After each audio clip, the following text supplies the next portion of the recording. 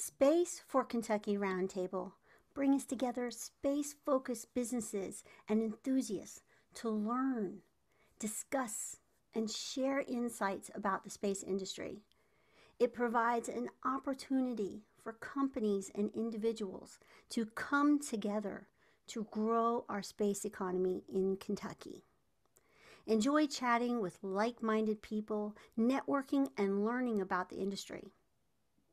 The space industry itself is exploding at an unprecedented rate. It is estimated to be close to a trillion dollars industry by 2040. As cost for entry continues to decline, more opportunities are open for companies to venture beyond the atmosphere.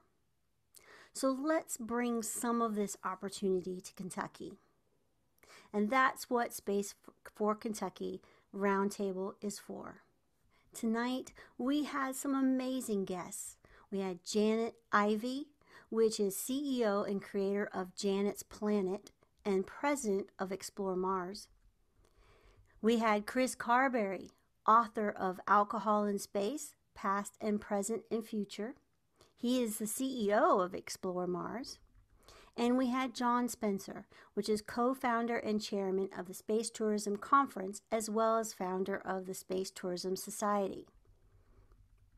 And a surprise guest.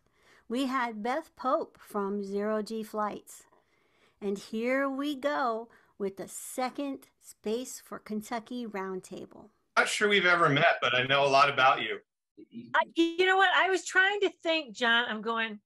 Have we been? And I, I don't know. It's so very nice to meet you, and I can't You wait too. to hear. It's like a big. I've been inviting I- John I- to the Humans to Mars Summit for 10 years. Well, John, it's time you come. Yep. It's really yep. good. Uh, okay, really my sweet. wife's going to let me go now. Oh, good. All right. That's what it took. All right. Right, right. We're going to go to Plan B because the the hookup is not working. So we're going to go to Plan B and just kind of huddle up. We can, we can see you good now, Ivy, so. You want to come on closer? Has Chris told you all about his stories when he comes to LA and all the weird things that happen to him? No. Oh, John, speak to me. No, no, no. He's like keeps it very close to the vest, all buttoned up, like, oh, I'm just, you know, just working away. So yeah, I have. Uh, And the it- Queen it's Mary, six- it, It's the, the Queen Mary the East incident's Coast. quite famous, actually. You know, uh, I It's think After there may six on the. East Coast, so we can tell stories now. Okay. There you go. So are we ready you to, to get, Never mind. Are we ready to get started? So I, one, first of Absolutely. all, thank you, all of you for being here. That is amazing that you're here. This is Dr. Jensen and this is Kay, and they're here in the room as well. Dr. Jensen does things with, um, he does, he works with Morehead University with satellites. And, uh, he's in charge of some programs. Yes. And then Kay, she does the, tell us, tell them Well, I'm, what you do. I'm an R and D consultant. I do conceptual design. I'm a former Disney Imagineer, so I sort of do Imagineering work for uh, other people. Great. It's awesome. Yeah, every now and then, but it's, but uh, a few years ago, I got my, um, my uh, air, airport certification, design certification from Embry-Riddle. So I could include that on some of the resort design because they're getting the vertical lift. And, um, you know, so I needed that. Yeah, that, that must really be a blast. Oh, really? It's See just what you did there? stages of it. It's really so much. I wasn't gonna lose that one. I haven't, haven't even developed, uh, you know, the, for the projects yet, you know. The tech, the, the equipment's so early, you know. Still in development. So airports can't be designed until the equipment's done. Well, these three guests here, when the news actually wants information on any of, on STEM, education, alcohol in space, or uh, space tourism, these are who they call. So they've all been featured. on- Definitely, yeah, definitely introduced, interested in the alcohol in space, I'm just saying. All right. So Janet Ivey is going to be our first one. She is her programs have won Emmys. She works with kids and does a program called Janet's Planet. She's been on over 140 stations is where her program is is listed and she's won some Emmys and she's done some TED Talks as well. And then we have Chris Carberry, which is an author for Alcohol in Space. And he both Janet and Chris are both with Explore Mars. She's the president of the board and he is CEO. And they did not know or coordinate that they were both going to be on here tonight. So this is very, very opportunistic. And then John Spencer is with space tourism, and he has also written some books. And he is in charge of the conference and the Space Tourism Society. So we're going to have Janet go first, and I'm going to share my screen and then flip. And you, do you have a, a PowerPoint tonight, or? I, I I've got some just points to make, but it's like I'm happy to to just make this a conversation. Um, not I'm not normal. I normally am at my house, and this uh, tonight I find myself in Rochester, New York, in an Airbnb, and uh, we've got an American Astronomical Society eclipse meeting tomorrow as the 2024 eclipse approaches. So if you'll make me co-host, I may go ahead and show some slides. But first of all, uh, to Dr. Jensen there, I don't know if you know about endurance in dot space and it's open source. Uh, our board of advisor, uh, Naeem Altaf, who is the chief technical officer um, for IBM, uh, and a lot of their space tech stuff. I'd love to connect you. Naeem is all about um, kind of education satellites, but he launched this CubeSat and it's like, it is open source. Anybody can take the data and extrapolate it. That's what IBM wants them to do and then report back. But it's called endurance in dot space. But if you want to, my email is very simple. It's just janet at janetsplanet.com. Happy to make that introduction only because when Naeem and I met, Chris and I were having a conversation with him back in the summer of 2019, basically trying to get some good funds from IBM. And actually, what sort of bubbled out of it was an educational endeavor and uh, so but it's really fascinating and any any students can do it you can track that they it, it's really fantastic so and our hope too is eventually for Explore Mars, we have some opportunities coming up. So if Morehead ever wanted to uh, partner with Explore Mars, we have we have some capabilities of potentially sending something up the next time uh, Jared Isaacman goes up. It's not for sure, but if we if you got a good idea, we could partner with that. So, hey, Chris is over there scratching his head, going, Oh, Janet's committing us to something again. I'm all about community and always like better together. Let me just quickly go through a few slides here. And I, I promise uh, brevity will be the soul of wit tonight. Here's what I learned in 2020. And I'm sure it'd be interesting for us to all have kind of a roundtable discussion about this. I uh, Chris has me writing a chapter for kind of like in his trilogy of books, Alcohol and Space being one of them, and then The Music of Space being the second one. And then there will be a series of essays. And one thing I'm working on is what would education on Mars look like? And during the pandemic, it prior to the pandemic, I should probably say if somebody had said, Hey, Janet, why don't you teach online? I think I would have probably gone, No, thanks. Who wants to do that? Nobody ever. And then 2020 uh, happened. And so here's what we found out. And it was really disruptive. It was a way to give students a universe of time and attention. And what was really lovely is I had folks all over the country saying, Hey, I'll come talk to students we began March 17th, 2020. We didn't charge anything for it. I thought, hey, if I've just lost everything that's on my calendar, I'm assuming everybody else has. We had 26 kids the first day. I was dumb enough to put my Zoom info like public. Who knew that there could be Zoom bombs and stuff? Not me at that moment. Uh, 26 kids the first day, 76 kids the next day. And naively, I thought I'll do it for a couple of weeks. And then nine weeks later, we'd served 1,200 kids from around the globe. Uh, out of that experience, I was able to garner a NASA grant that carried me through September of 2020 through June of 2021. And we zoomed with over 10,000 kids from around the country. So it was, it was a, it was a leap into the unknown and a way to give them this. But we offered everything. Sometimes it was science and wonder, and we would give it to them and, like, hey, teach me something. And the kids would come and do science experiments, and uh, I would let them be the experts. Um, and then it was interesting.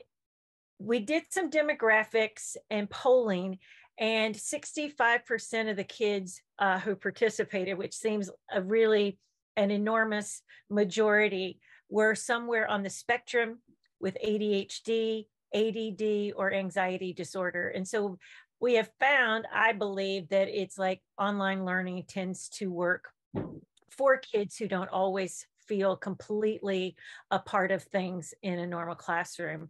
And so, you know, everybody's kind of like zoomed out, but it's like once we made it, we learned lessons. You got to make it fun, you got to make it interactive. This is true whether I'm zooming or I'm in person, right? Energy is never destroyed it's only transferred that's a good physics concept right? And you got to make it meaningful you've got to make it personal. And maybe the largest thing is like even though 10,000 was great i have about 200 that still connect with me on a fairly regular basis.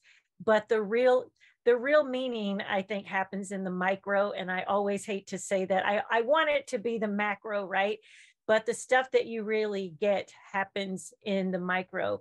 At this previous uh, Human to Mars Summit back in uh, May, we had seven kids that attended online classes. One, uh, a selective mute, but she had just like, so I met Lucia when she would have been uh, seven in 2019 at a live camp in Toms River, New Jersey she never really spoke to me. She would tug on me and write me a note and things like that, but selective mute. She attends, so she wins the NASA Junior Lunabotics competition this year um, at age 10. And uh, at the Human to Mars Summit, Chris, again, I've been president now of Explore Mars for about, since 2019. And I he tends to let me do things and go, hey, but it's about the kids, right? It's about the next generation. It's about that pipeline of talent. And so at the end of our summit, we were asking the question, how can going to Mars maybe change the um, change humanity? And seven of these kids got up and spoke. And my little selective mute paper in hand and mm-hmm. shaking actually read her paragraph. So it was it was it was uh completely humbling to watch and experience that and to know that everything takes time but space education again this is one of my kiddos who decide who would always wear his astronaut helmet to class. And a lot of times I, underneath the grant and doing some online virtual camps i would send them like i'm sure the parents thought why did this lady just send us paper plates and straws? In nashville during the pandemic uh, myself and an intern were going around because it's like even the post office was fairly inconsistent dropping off things uh, you know, at a kind of like s- safely distanced way so that uh, everybody had the supplies. We're building lunar landers here. And, you know, for me, space education is that gateway into STEM. And it's kind of like, let them be creative. It's like, uh, she she's calling this she made this out of like some little uh, cardboard and these little bricks that uh, attach everything together, but she thought there should be a zoo on the moon. So she called it Zoopalo. But again, I'm not going to tell them that there's never going to happen because maybe, you know, John can speak to this as far as space tourism. I'm going to want to take my pet, John. So you got to figure out a way I can get that up there, right? So whether we were learning to crochet because hey it might be cold in space that might be it that might be something good that we could spend our time on if there's a a long like uh, dust storm on Mars, but it was basically to create con- context and content and to get them interested. Space was kind of like that doorway, and then we would let their curiosity kind of spiral. And so it's like that's what I'm all about with Janet's Planet, with Explore Mars. It's like, how do we create that next pipeline of talent? Kentucky is burgeoning and kind of like as you think about all the all that the space is going to uh, be. And as Izzy was probably, I think, in her post today on LinkedIn, it's projected in the next 20 or 30 years, it's going to be a trillion dollar business. But as you're working with kids, and especially uh, to you who is an Imagineer and a creative and a scientist, I love making sure kids know that you can let your art inform your science, your science inform your art. It worked for Da Vinci, it should work for all of us. And uh, Tony Wagner of Harvard says that we must let our children play. And in the midst of their play, they may find their passion. And in the midst of their passion, they may very well find their purpose. And uh, that's all in a book about creating innovators, the making of young people who will change the world. And I so believe in that. Um, in that particular phrase, but it's if you ever need um, you know access to educational uh, curriculum or anything like that, happy to share. But just as you guys, you know, move about or have kids or grandkids or whomever that are interested, know that from plumbers to welders, they're making a lot of money and because the toilet didn't work so well on inspiration four boy would oh boy would they have loved to have had a plumber right so making sure that kids understand that it isn't just the astronauts and it isn't just you know the elite that it takes everybody from chefs to you know so those are other fun conversations to have as far as education goes but super hoping that somewhere in the very near future it's like i'll be sitting watching the news and like that's so that's the hope Thank you, And I always say I'm going to be brief, but I get excited and I talk too long. Sorry, guys. so next we have Chris Carberry, and he has the Alcohol in Space book, and uh, he is also part of the Explore Mars. So you want to tell us about alcohol in space? All right, and can I share my screen? Let's see. I, I made you a co-host, yes. Great. Oops.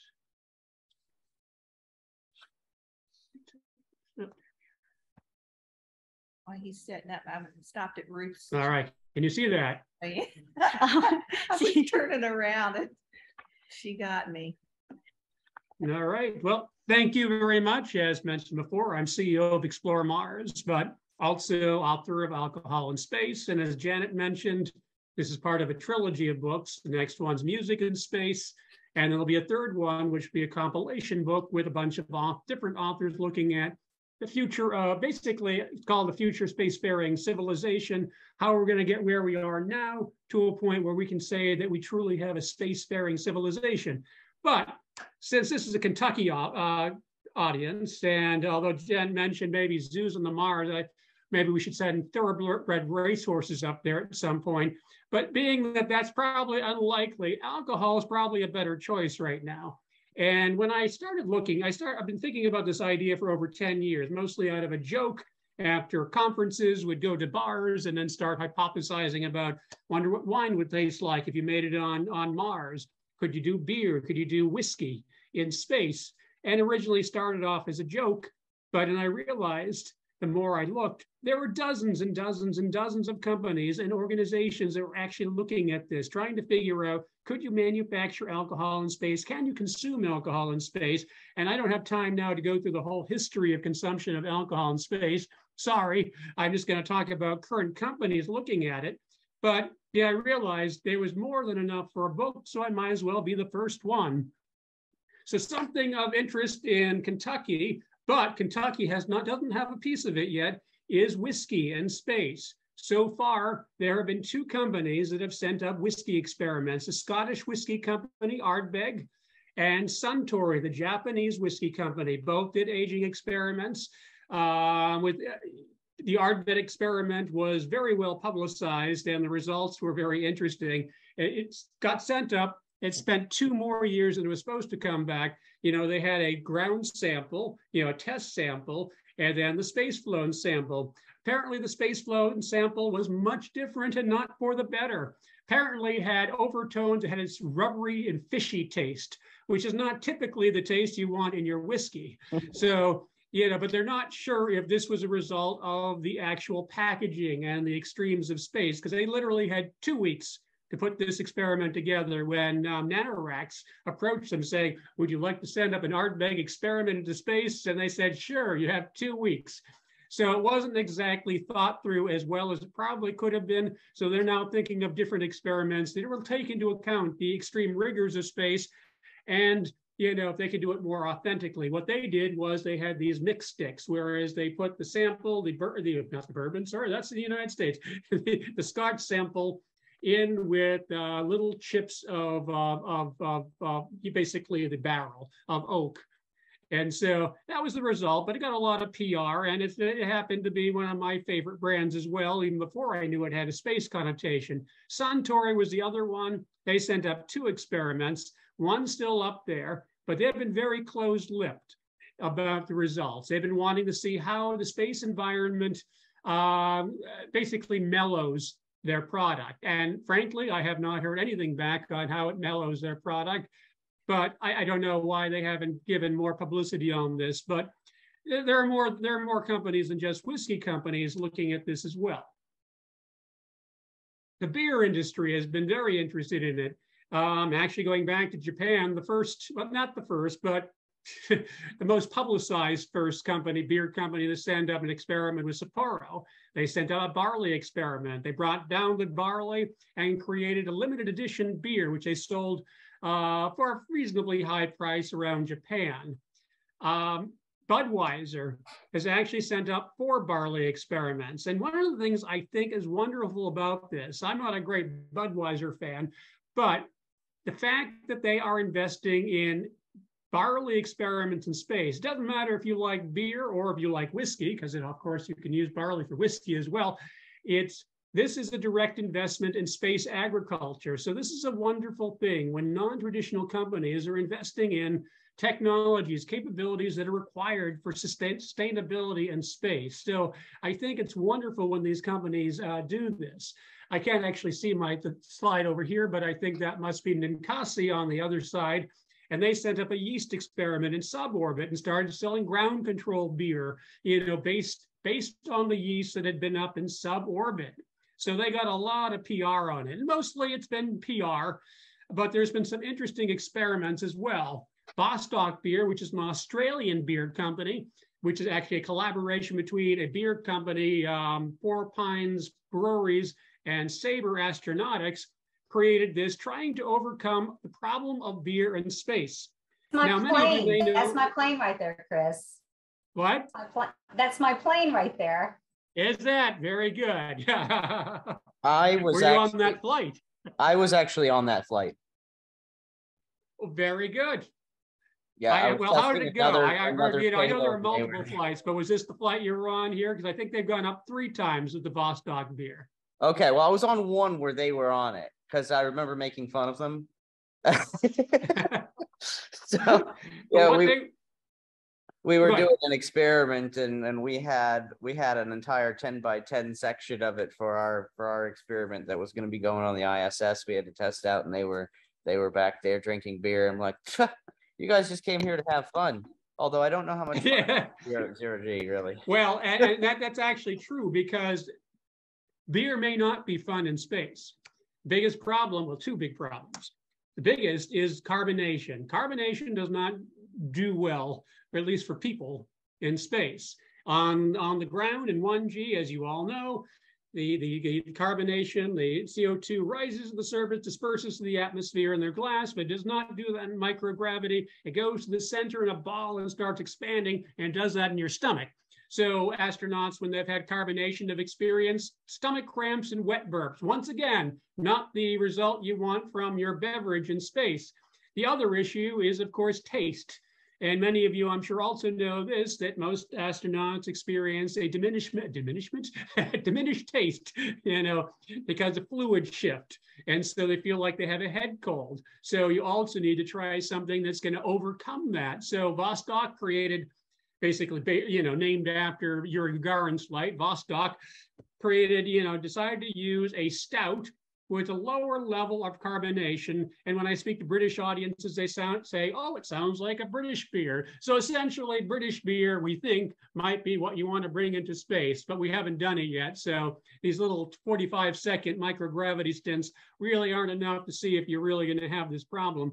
But they also developed a dispenser and a glass as well you know, wine's gone into space. This the uh, I'm going to speed up now because I'm probably going to run long here. You know, back in the 90s, that bottle of Bordeaux on the my left at least, you know, went up, you know, from the French. And this actually goes back to the carbonation because um, the French heard that Coke and Pepsi were sending up experiments, and they did not want Coke and Pepsi to be in space before French wine. So they made sure to get a bottle of French wine into space to make sure it beat out Coke and Pepsi. There was absolutely no scientific value to this. It was just, you know, to get a bottle of, of, wine up there. The one on the other side uh, was that was sent up by NanoRacks uh, was back in 2019. They sent up 12 bottles of Bordeaux to test out aging of uh, aging wine in space. And I know the gentleman who did this, very excited, and they were sold, sealed up these bottles for a huge amount. They're, they're planning a huge number of other projects, as well as this wonderful big training center for commercial astronauts, luxury facility for uh, commercial astronauts. John, if you haven't met uh, Nicholas Gaume, I'll introduce you to him. the French are also interested in champagne, once again, having that carbonation issue, but Maison Mumm is really excited. And in fact, I was at, I was um, in Paris just a few weeks ago at IAC as a guest of Maison Mumm because they were actually announcing their collaboration between them and Axiom. And they're going to send up their special uh, champagne bottle, space champagne bottle next year to test it out. And they developed a special bottle as well as a glass so you can drink it authentically because they want to enhance the conviviality of drinking their product in space because they want to get that market on private space stations. And so they made this wonderful announcement. And of course, they did test on the European version of the zero G flight. And you may notice the gentleman on the left, you know, uh, uh, uh on the top, Usain Bolt, the famous sprinter. They had him come on the flight for PR and he did a microgravity sprint on the flight. Yeah, other companies are looking things at other products like glassware. You know, there's a company called, um, you know, know, looking at um, zero gravity cocktail glasses. And of course, John knows this project very well, um, you know, by Cosmic Lifestyle. And I, have, I should have, I have a copy. I have a 3D printed copy of one of those here somewhere. I should have brought that over. But also another company was looking at whiskey glasses. You know, as you've seen with astronauts, usually they spray liquid into the air and you sip it out, or you have a spray bottle. But a lot of companies want you to be able to have that that ambiance and be able to sip like you normally would on the surface of the Earth. And so these glasses generally will fill from the bottom and go up through these grooves or these tubes on the side using fluid dynamics to create, you know, so you can actually experience drinking your favorite beverage in space authentically, so you don't have to spray it into the air. So, um, so regardless, there are a whole bunch of companies. There are many more. I've been, you know, shockingly, a lot of companies have come up to me since I wrote this book. And so, but one of the things I thought was most fascinating is everything you need to manufacture and consume alcohol in space mirrors what you need for humans in space. And it's interesting how many speakers that I met or individuals I met while writing the book ended up coming, uh, participating in the Humans to Mars Summit. And next year, it, we're going to have our biggest one yet in Washington, D.C. at the National Academy of Sciences. It's already, it's coming together really well. I mean, I'm, I'm usually doesn't come together this fast and um, so many people committing. So if you're going to come to a Humans to Mars Summit, come to this one next year, which is May 16th through 18th in Washington, D.C. at the National Academy of Sciences building. Beautiful building. We have a whole bunch of other side events being planned. I also want to mention we're going to be announcing soon publicly a new organization, the Space Drinks Association, which will bring all these players together from the alcohol industry, the agriculture industry, space players, science fiction, etc you know, to bring them together in a trade organization.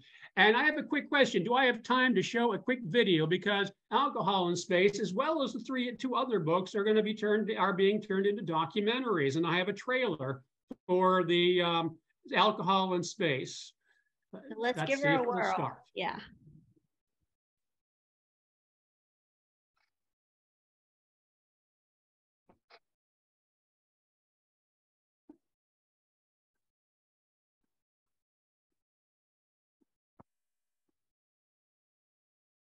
I'm not getting any sound. Sound, Chris, need sound. Uh, how do I, wait a minute. If, if we're on Zoom, you should be able to go up and just share your sound with your video. Let's see. Um, you know where that is? Because I rarely do this on with the sound. Um, I have never done that. So you can do it. All you do is go like in your top bar, there should be like three dots and you should you should be able to say play sound with video okay. Um, and it'll share the sound at the same time. okay. Let's see if that works. Pioneer. He brings the humanity into this human story. Alcohol has been a part of human culture from the very beginning. Culture is what makes a society. montrer euh, que c'est possible de euh, boire du champagne en apesanteur. We have the solution. We made only two prototypes, very much alike, you know, and the two prototype failed completely. Let's send yeast to space and brew with it. It worked, but what didn't work is us not finding the rocket for 28 days. So that's how it all came about, Sam. It was bonkers mad. It was such a short period of time I had to work with. I kind of love Elon Musk. Musk is a nice example of a culture that wants a hero or a villain more than they want an ordinary human being doing good work. This is actually getting serious. A bottle that gives you the ability to share the champagne, to serve it in a very playful way. Taille, on a une expérience qui est fabuleuse, qui n'est absolument pas euh, reproductible sur Terre. Mais le plus incroyable pour moi, c'était de déguster. C'est la gravité zéro, vous savez, vous vous avez plus d'apesanteur. Donc euh, vous avez le, le- vin tapisse tout, vo- tout votre palais. Euh, et en plus, on a une sensation que je n'avais jamais connue, c'est le croquant de bulles. Parce qu'il a fallu percer les bulles, claquer les bulles, puisque euh, physiquement, il a fallu les, euh, bah, exploser les bulles pour avoir le liquide. Et c'était une expérience vraiment unique. Jules Verne actually hypothesized bringing grapevines with them and growing vines on the moon, thinking that the ardent sunshine on the moon would create really wonderful wine vintages. This was the first time they were contemplating agriculture on another planet. This dream of Jules Verne would come true, at least having wine on the moon 104 years later, in 1969, when Apollo 11 landed and Buzz Aldrin actually consumed wine on the surface of the moon. This isn't a bonus. This isn't a nice to have. This is what it means to be human. If we can allow astronauts to be not only machines but to be people, not only surviving entities but people, to create, even for, for a few minutes, a society of humans outside of Earth, then this is precious.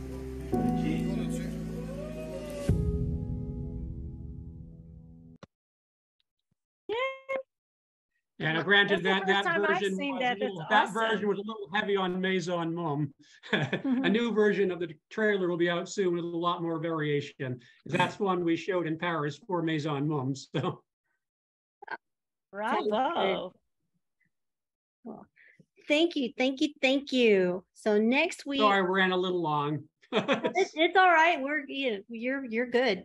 So next we have John Spencer, and he is with Space Tourism Society, and he is also the co-founder of Space Tourism Conference, which is coming in April. So take it away, John. Sure. Uh, let me add a little more to the backstory there. I'm also an outer space architect.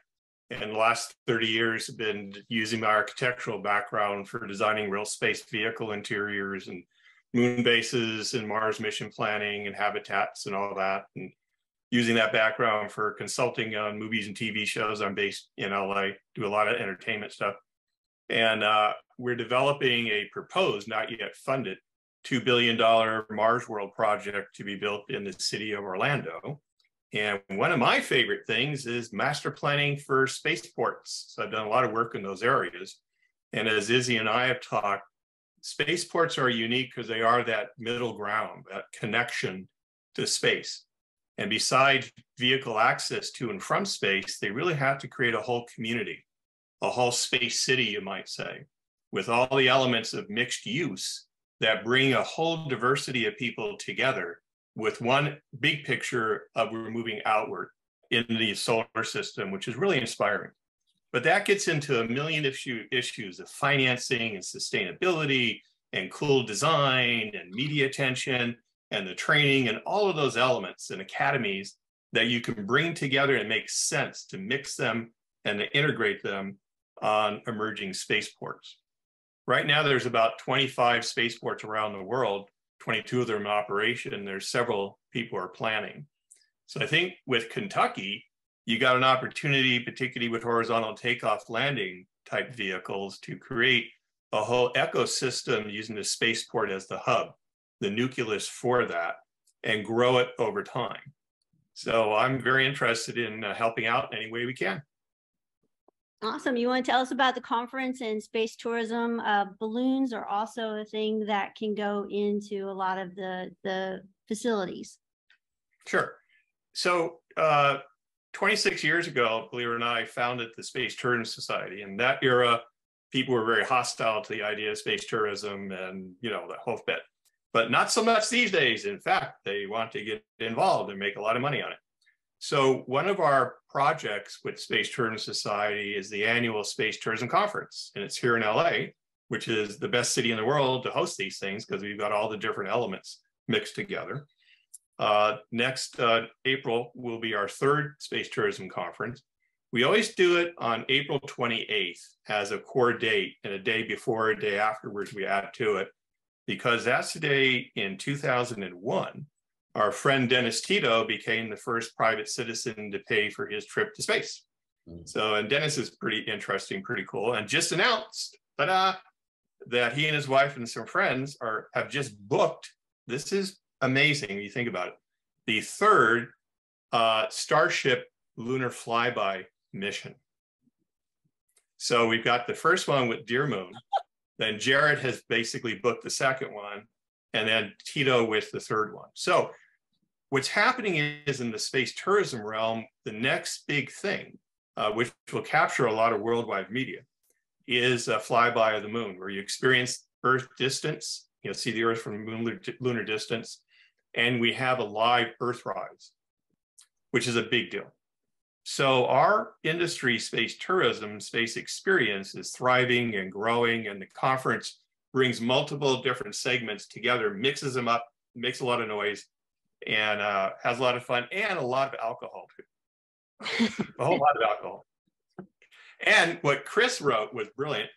And he also didn't talk about it, but in science fiction, when you look at Star Wars with the cantina scene and Deep Space Nine with 10 4, or uh, actually uh, Next Generation Star Trek, 10 Forward, which we had several parties on, we work with Paramount, uh, and a whole bunch of other space movies humans are always bringing the booze with them. They really are. Uh, so that's a really important part of the whole thing. So uh, yeah, that's usually part of the normal talk, but this was a condensed version. that's right. Well, anyway, I helped you out on that. So anyway, with um, what you're doing with Kentucky, which I am now learning about, I I did not know. Uh, Kentucky has a huge aerospace and high tech mm-hmm. uh, arena and industry and so forth. That's great. Uh, that you want to use space as a motivational tool because as space industry grows, there will be more need for people working on Earth. But, and I get this all the time, you know, I want to go to space. I'm not rich. I'm not going to win a contest. What can I do? Ah! And I always say, work in space. And that means there's going to be more and more people of greater diversity going to space and servicing what I'm designing right now orbital super yachts, orbital super yacht clubs modeled on ocean super yachts. This is the mega rich. It's really fun to play with these guys. They're really different. Uh, but there'll be many, many more jobs and diversity of jobs going off world as well as preparing people and equipment and services to go off world. So it's a real renaissance of time. So it's great timing for Kentucky to start your uh, real work on your spaceport. Awesome, thank you. And you, John, or uh, Chris, you said something about Beth. Are are you with Zero G? I am with Zero G, and relationship is with with John, who um, I've been with while I was making my way into the space industry. So I am with Zero G. Would love to talk to you, Janet, because we do a lot of research and education. So I don't know if you've done anything with us, but we would really love to do something with you guys. And Chris, I'm a connoisseur. So absolutely. That's definitely talk. Yeah. I, I know that we've done, we, you know, we've done some amazing marketing with um, Stoli and um, I've got a great friend in Europe by the name of Charles Palmer who does an amazing um, array of champagnes and um, beautiful vintages of wine. Definitely, we should talk about that. But with Zero G, we're kind of like that first little step, aren't we? We're like that first little step into people starting to understand, especially for young people and, and, and, and, and people my age as well, that are starting to think about like, what's it like when you get into space? What's that like? And from the weightlessness point of view, that's what we give them is we actually give them that opportunity for like for seconds at a time 15 times on a parabola we give them that opportunity so john invited me to this and i was so excited to kind of join with you guys and, and hear your perspectives and how we're joining in that and and actually introducing these people into this idea of what's going to be next and and what to expect so i'm just excited to be here and join you guys well, yeah, tell us a Beth, little bit. Beth about- also has a, a, background in super yachts and that whole culture, which is very good. And um, we're very delighted that she's gotten into that. And what she said about steps, you have, of course, going to a space museum and then a zero gravity flight. Our friends at Space Perspective developing is the balloons that's go to the stratosphere, suborbital flight, orbital flight, flight, uh, lunar flight so there's whole echelon of steps by steps. So we can have customers for life. If you're into space, as you become more affluent, you can do more and more real space experiences. So that that works out great. But zero gravity has given, I think, the inspiration, the company, to thousands of people that they want to go the next step, the next level. And just I can get. I'm so sorry, Izzy. Go yeah. right ahead. Give a little. Well, I uh, got two Oh, sorry. Uh, give a give a little description of what zero G is first for the people that don't know. Right, I will keep it really short. But listen, we've got this amazing 727, Boeing 727, and we take it up and we get to about 20,000 feet and we take a 50 degree angle. Okay. And off we go straight up as far as that plane will let us go until we start to curve back around. So at this time where you're going up at this 50 degrees, you're feeling about two G's of force on your body. So in all honesty, when you're doing C, uh, zero G, you're actually getting both aspects. You're getting a really nice pull on your body. You know this. I see you nodding your head because you've experienced it. You've, you've got this zero G and you can hear the engines as we get over the top and you've got about 30 seconds of complete weightlessness. You're floating around. The first time you do it, right? You have no idea what to do with your body. They used they called me the runner. Like oh, no god. yeah, yeah, he's laughing. I, I, was this person. I was like, yeah, I I I almost kicked somebody in the face. It, I did as well. They were yeah, like, because you start to try to swim. I, I, didn't do the swimming because they caught me at the running. So they caught me. Yeah, yeah, exactly. moved into the swimming point of, of the experience. But what I thought was so amazing is that this is the opportunity for people to start to really grasp onto the idea of going to space. Right now, Zero G is doing all the training for SpaceX, for NASA, for um, Virgin Galactic, for Axiom, for um, Blue Origin. So we're literally letting these pilots and letting these astronauts start to get a taste of this before they're getting up to ISS for the first time and experiencing weightlessness to actually go, okay, I got it. You know, let me process what this feels like. Um, my first time up was Saturday, last Saturday. I was oh, wow. How, yep. so, how, so how long and, have you been with them? Uh, three weeks. Oh, okay. yes. Three whole exciting weeks. I'm a space professional now, though. So clearly. I, so I think yeah. it was three years ago that I was on that the the zero G flight, and that one was an engineering flight. It was not the thirty second uh, normal flight. It's the hard yeah. one. So they don't they don't. It is the hard one. They don't put you into Martian gravity first, and then lunar gravity, and then zero G. They they just they just mm-hmm. slam you right into zero G, and then slam you right into zero G for like an hour. Oh wow! You're there for an hour, no. and you just gotta deal with it. But I think uh, what's nice is that right now we're doing three parabolas of lunar, mm-hmm. and then we throw in three parabolas of Martian.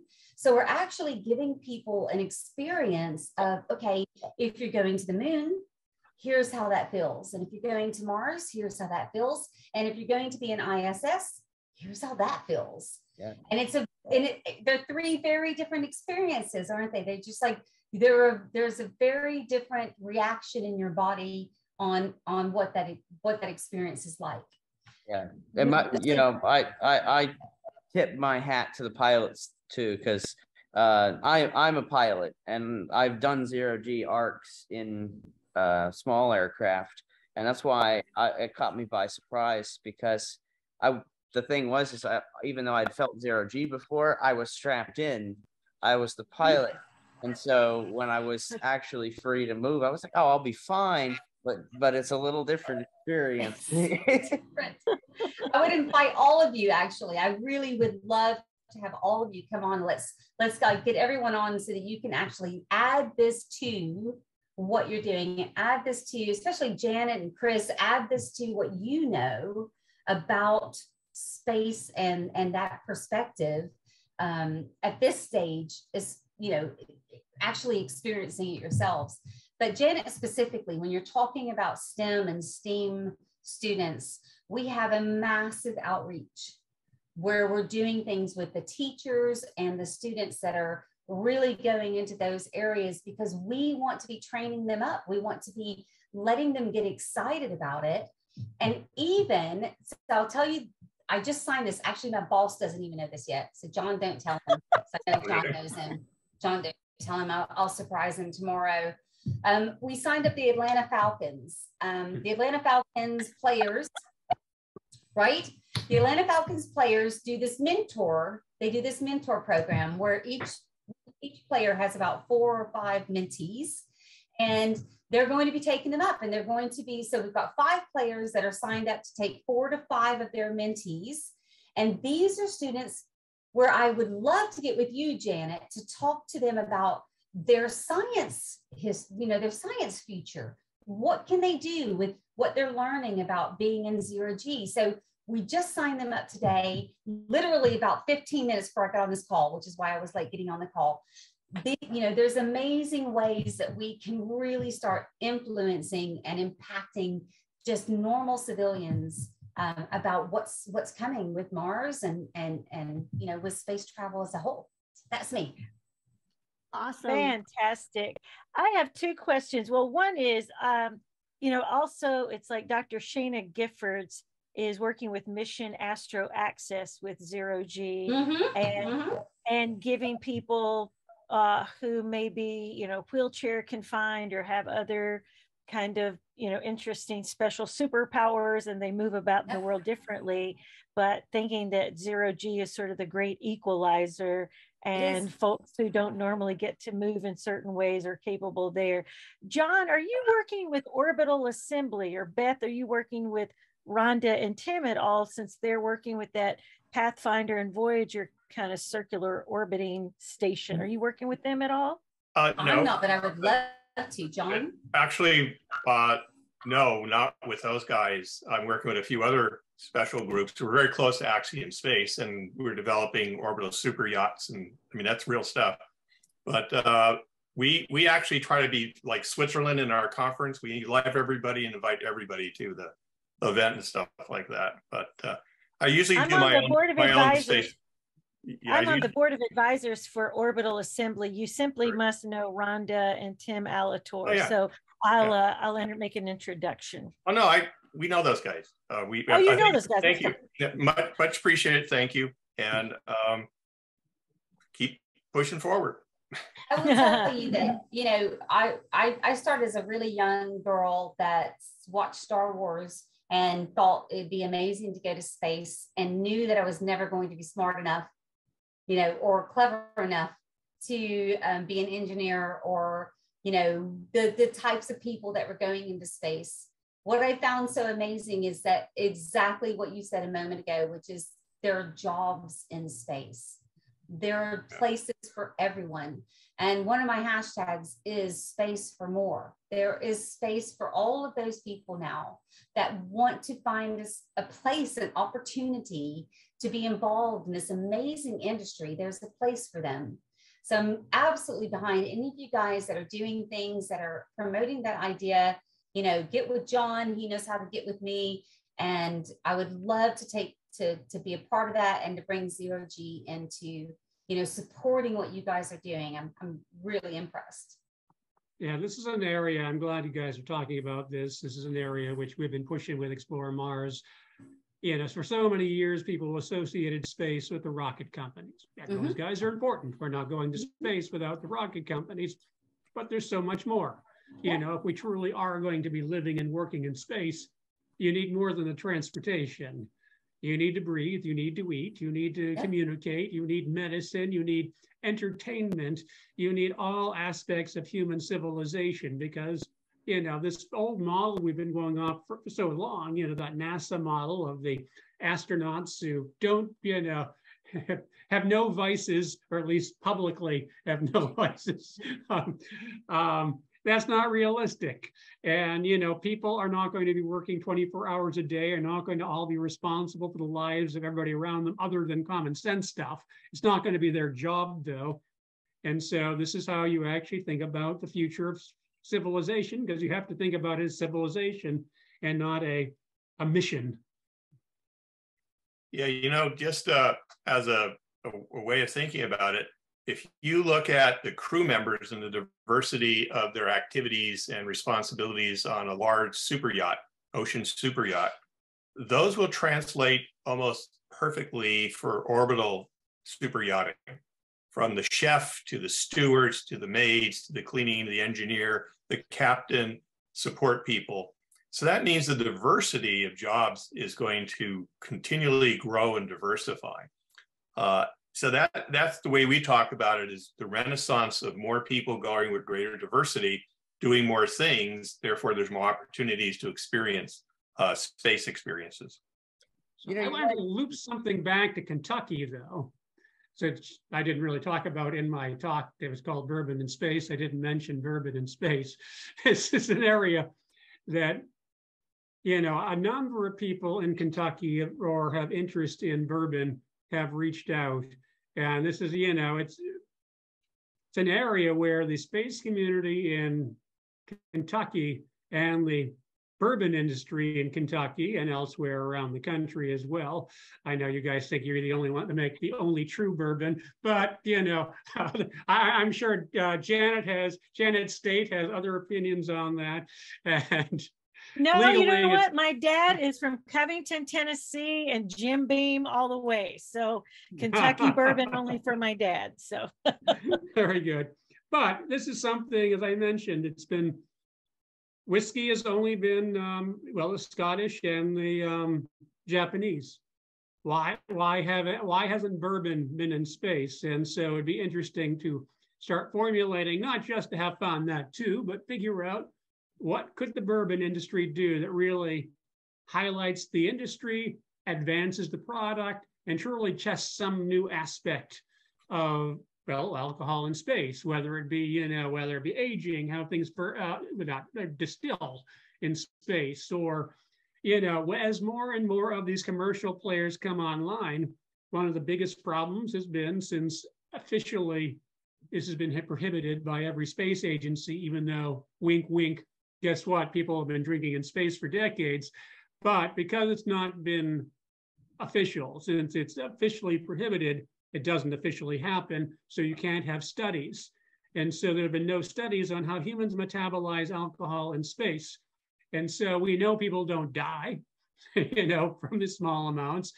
We know they don't get, you know, it doesn't doesn't impact them dramatically in a different way than here on Earth, but they've only consumed it in small amounts, small shots, and there's been no no formal studies, just basically anecdotal tales. So, I mean, it'll be interesting to try to get the bourbon industry engaged in some sort of interesting, fun, public, but also useful experiment. It's actually doing something that actually proves out, you know, what happens to the human body because now the commercial sector is going up with more regularity, people are going to start drinking more openly in space. And it would be good to know scientifically how this interacts with human bodies in microgravity or in one sixth gravity or in one third gravity. We don't know.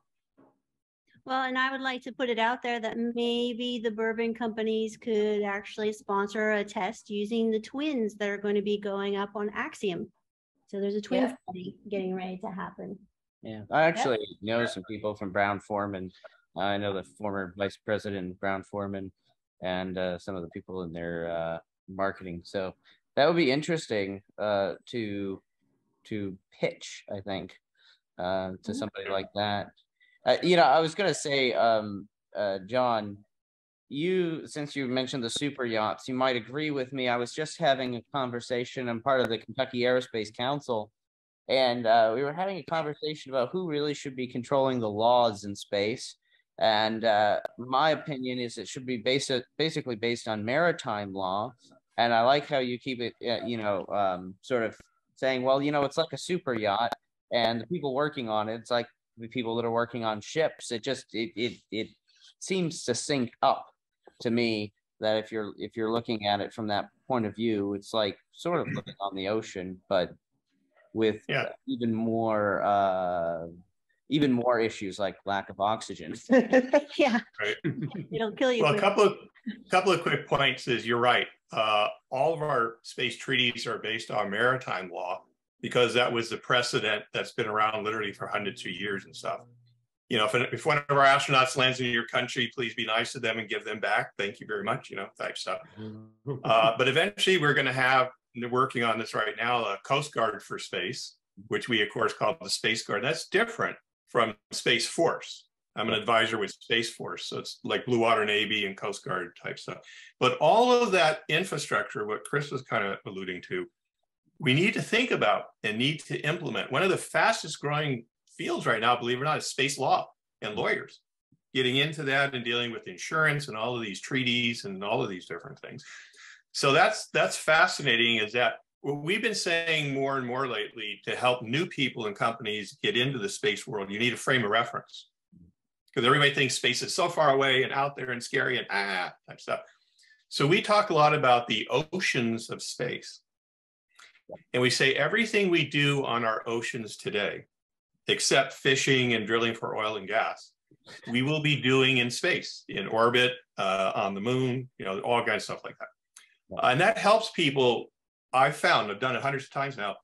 You kind of sense that they're kind of getting it more because they can relate uh, to the oceans. So the oceans of space is very good.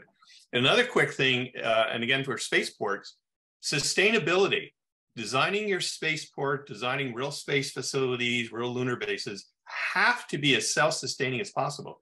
So you have to create biospheres. So you're refreshing the air and the water and you're growing own food and dealing, a big part of all this is dealing with waste management, human waste management, other waste management. So when you integrate design into sustainability for your spaceport, you're doing a good thing because it's a sustain, sustainable spaceport. You're saving operational costs, but people are learning how to operate on Earth more sustainably and more efficiently. So space is a motivator for deeply getting into biospheres and sustainability. It's got all the cool stuff. You just have to mix them together. Absolutely. Um, is, do you feel like you've got a fairly strong um, group of people that are interested in space that are um, what in Kentucky? Yeah. We have just started. Basically, the seeds were planted what a couple of months ago, and uh, so we are we are getting the awareness up. So this is the second oh. meeting of the Space for Kentucky. Now, I, I, will, well, I would like to that over the last, uh, I'd say, 25 years, um, well, so so about over the last 25 to 30 years, Morehead State University's had a space science program, and uh, that has attracted a lot of students. Just recently, the University of Kentucky started an aerospace program. Um, aerospace is actually Kentucky's number one export. It's not bourbon. It's it's it's not horses or anything. It's it's actually aerospace. It's more on the manufacturing side of aerospace. Um, there's only a couple places that do just pure space, right? We have Space yeah. Tango in Lexington. We've got I used to work for Redwire. Um, they're not technically in Kentucky; they're across the river. We'll uh, claim, Louisville, we'll claim but yeah. Um, and then of course we have we have Morehead State. Um, I also have my my own company as as well, and we do some things. So it's growing. the the The space industry in, in Kentucky is growing, um, but it's already the aerospace industry is already very big here. So it's just people are seeing this shift towards well, we're building Boeing 747s, you know, parts for those. Uh, we might as well build parts for SpaceX rockets, uh, which is already happening in Cincinnati. I was meeting, you know, I, I just saw the CEO of that company just a couple hours ago. So it's it's it's exciting. Well, and I, I should have I, I, should have mentioned earlier it was a Kentucky company that arranged the Budweiser experiment to go into space. Space Tango. Uh, oh yeah, yeah, yeah. I, I just actually met with Kris Kimel uh, a few hours ago as well. He was he used to be the chairman of the board of Space Tango. Yeah. Uh, you know, I, since you guys, oh, I actually am a native of Kentucky, and I went to school at University of Kentucky first, and I went to University of Cincinnati, which um, in Ohio, uh, it's it's really this was the foundation of aviation was right in this area. Uh, Embry Riddle used to fly his planes right here in Kentucky, and they had their airport uh, over in Cincinnati, which is where he teamed with um, you know Embry Riddle and had the original school, the aviation school which taught many of the early astronauts and and in Ohio. So from there, it branched off into Dayton and uh, the other cities. When I was a, a University of Cincinnati student, uh, Neil Armstrong was down the hall. Um, he was teaching engineering, and I had Bucky Fuller for my professor. So, wow! wow! Wanted to become a theme park designer and I was a fine arts and theater and and and theme park designer and uh, but uh, Bucky Fuller was why I was interested in working with Disney. And he was designing the geosphere for the gate of Epcot at the time. So I go hmm. way back into all of this you know with the wow. and uh, just completing um, you know I actually applied to Embry Riddle before I went to University of Cincinnati. And um, the Air Force didn't accept women uh, when I applied, but I, I was a balloonist and uh, uh, working in, in that area all through my teens and flying in my teens. So I was very interested in aviation. But once I got to Disney, I actually worked on some of their space projects like the moon ride and some of the other things. A good friend of mine, Andy, Andy Probert, had come from um, uh, um, the um, Paramount group of people, and he was doing some design there, and we worked together on doing some things later with Star Trek and designed, you know, their projects for Nevada. So I've sort of seen a lot of these people that were in the original aviation industry. A- uh, Andy was in the Navy, and that's where he brought, you know, uh, but a lot of them brought their their military uh, influences into it.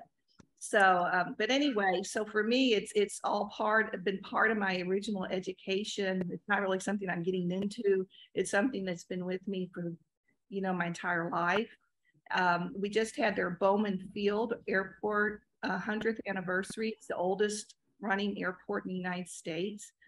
And uh, so we have a long tradition, you know, Les were Lindbergh and Amelia Earhart all flew across this Yeah. whole area and they taught everybody else, you know, and um, so it's it's it's just a quiet little secret. It, it's because it's an agricultural uh, state and everybody flew around and crossed their fields. Almost all the airports are named fields here because they were all originally fields.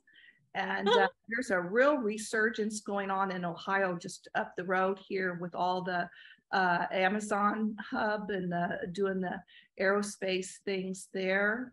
So it's, a- it's starting like in the aviation um, side of it. And it's Same with us. into the space side of it, you know, but it's, it's, all its roots is really in an aviation area, so.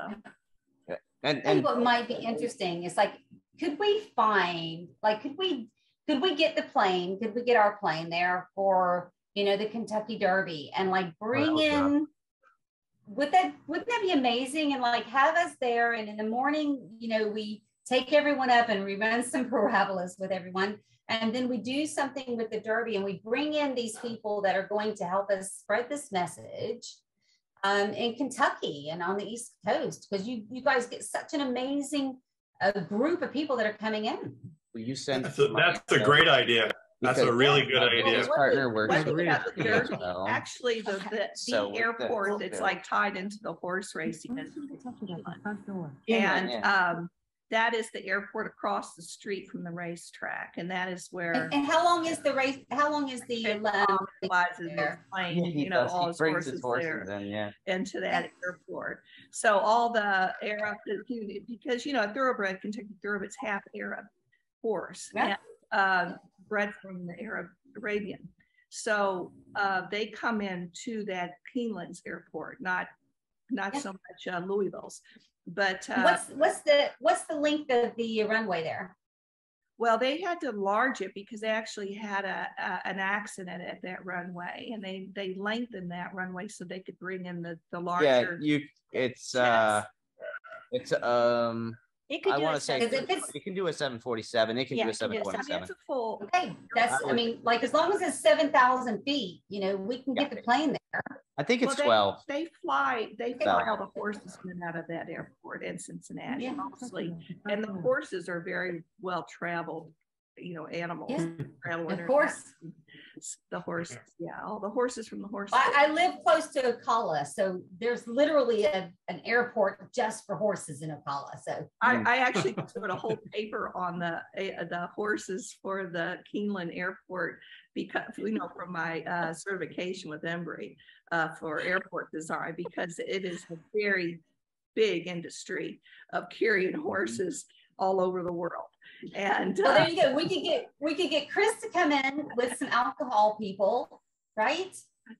We get Janet to come in. We'll we'll bring in some, you know, some students and some teachers and let them be a part of it. John, you're just the brains of the whole organization. I mean, you're fantastic. You just you know everyone. So and you- I'll train and and and someone bring the horses and let's have a race. So what you gotta do is you gotta get Morgan Freeman involved because he flies, he's a pilot and, and he flies in every, every derby. yeah, what Okay. okay. his plane. has his horses. Does he really? Yes, it- yes, he races his horse here and he actually won on them trots, I think, Mhm. recently. So that's what he really. That'd be prefers. fantastic. We'll get Morgan up there. We'll do, we'll do a competition with Janet, get some students and some teachers up there as well. I think, I, I think we might be onto an idea, guys. I love it. And I've got budget, so what else do we need? We need We have, budget. we Like need the UPS World location. Port is based in Louisville and you have the Amazon, uh, and both of them have their R and D centers where they're, where they're testing out the new flight vehicles for, for, you know, flying things around, usually medical kinds of, of equipments and things like that. So Amazon's doing all that testing right up in northern Kentucky, is Cincinnati's airport. It's in actually Love it. Kentucky, and the uh, Worldport of UPS is based in Louisville. So you've got all the international flights that come into those two airports.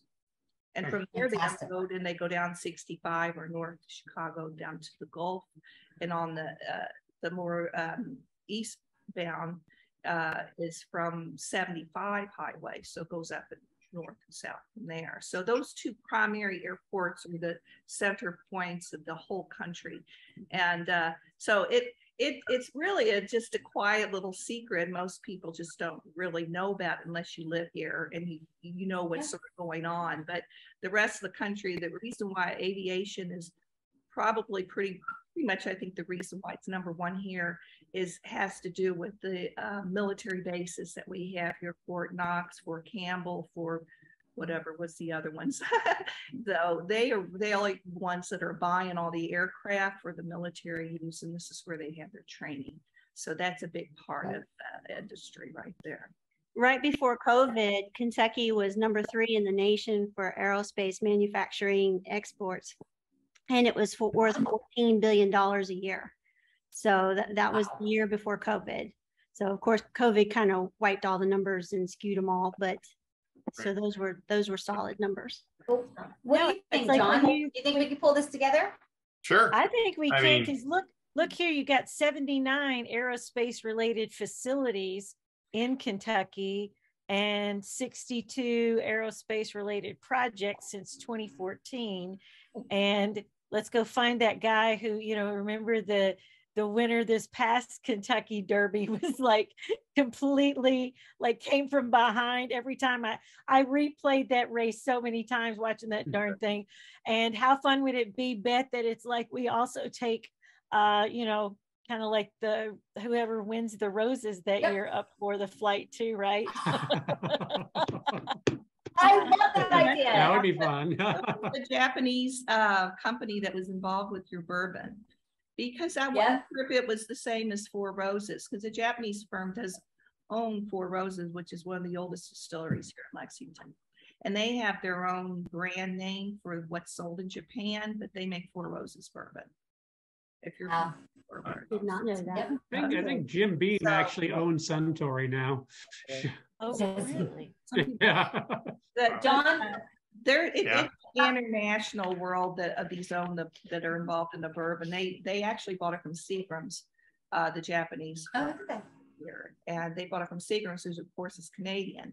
So there's other international companies um, that own many of the distilleries here. John, how do we pull this together? Uh, sure. Well, you know, Izzy Izzy is the chairperson, kind of seeing it all come together. So yeah. we can we can do that. One suggestion to have, since you're in the early stages of developing your space uh, experience community, is space camps, Mars camps. Camps are a really good business. Uh, we know a lot about that. We have a Mars camp program actually. Uh, and space camps tend to get a lot of support from a diversity of people. Uh, and winners of prizes, uh, I don't know what the ages are, although I saw a kid on one of the films from Zero Gravity, a young one. I was like, whoa. That was we were involved was helping to start Zero Gravity Company. And the big question was, what's the youngest thing you can have? But if kids were doing space camp uh, and they won something, they might be able to fly on zero gravity. Mm. And, uh, you know, that's just a great thing when you have a STEM space camp stuff. Now, is you told me you have challenger centers, two of them in your in your state. So you already have it. Yeah, there's one in Hazard, and the uh, I went to the one in Louisville. So I've been to the one in Hazard. I know Tom very well, who runs it down there. Uh, That's a great nucleus to build out from. Yeah. Like they actually just refurbished their entire place in, in Hazard. They're working on. They're going to have a one tenth scale model of SLS there, which is wow. still huge. Yes. I've I've been in the VAB because I we designed a satellite and we had to install it, and so it's on SLS right now. And don't get me started on the delays. But anyway, um, so I have been in the VAB with the real thing, you know, the SLS, and it is massive. And then uh, Tom was showing me the other day when I was down there uh, their one tenth scale model. I'm like, this thing is still huge. wow. Uh, Morehead has Lunar IceCube on the payload for Artemis One, which they've been waiting wow. all year, year. And a half yes. at this point. Yes. Yeah. So. They, what is that? Have, and then uh, it is detecting water. So yeah, so Lunar IceCube is a six U CubeSat It was uh, a NASA mission. We were hired by NASA at the University Science Center to uh, design and build it. It's uh, going to detect um, water ice on the moon. It's going to map that water ice. We've already detected it. Obviously, we have Luna Map, we have uh, like LunaH-Map, we have Lunar Flashlight, etc. All these other missions. Uh, so we we know that water is there, but we don't know how the distribution of water is. And so it's it's it, the the intent of the experiment is to map that water to see where it's coming from, so we can better get an idea of like how much water is there and how we could utilize that with you know in situ resource utilization for a, a moon base or you know you know having a, a real presence there on the moon. Yeah. hey you guys uh you guys want to hear my lunar joke yes i love jokes okay well first off the moon's not very funny i only know one lunar joke and i came up with it All right. so to pick up on what you're saying, we know that there's water ice on the South Pole from comets that deposited in their craters, the sunlight never sees it. Blah, blah. So a lot of research was done in, in that area. But the last several years, they discovered there's a fair amount on the North Pole as well in forms of ice and craters and all that stuff like that. So today now, the new the moon actually is now basically bipolar. Well, going off of the Bipolar. moon segue, going off the moon segue, I have a box here that I got from Taiwan yesterday. And what is in this box is really cool. It is um, from Gran Systems. It is moon silicate. It's the reconstruction. it's a, a synthetic moon dust so Oh, that so they can do simulation studies. regolith Yes, simulation regolith. Thank you. simulant So isn't that cool? Wow, that is so freaking cool. Yeah, So really. From Gran Systems and it is from um Kuang-Han Ke. So thank you for that. And I, I totally expi- they, they are doing quite a bit of stuff with uh di- growing food in, in. i'm just gonna take that thanks So- i have some experiments to do I was so excited to get that yesterday that I could share it today. So. You know, That's that's one thing, fantastic. uh, that- I, that- I apologize, but I'm gonna have to drop off in I like do one minute. too. Time for us Gotta to go as wrap up. well. They're gonna kick us out here in a minute, so. But thank you guys, and I will have this recording posted and we will make sure that everybody's linked up. And we will get information to everybody that, mm. to, to make sure everybody is connected. And we Yeah, will. this was a lot of fun, lots of great ideas. Yeah, thank you, Izzy. Much appreciated. Yes, Oh, so nice you. to meet everybody. And thank you, John, for inviting me. I really appreciate it. Sure. You're welcome. Thank you for being here. You added a lot to the discussion. Thank you. Hmm. My pleasure. Thank you so much. Bye, everyone. Very much. Bye bye, everyone. Bye, everybody. Bye. Wow, that was good stuff, wasn't it? That is what this is all about. I hope you can join next time. More guests and more space. The website for this is spaceforkentucky.com. Until next time, reach for those stars.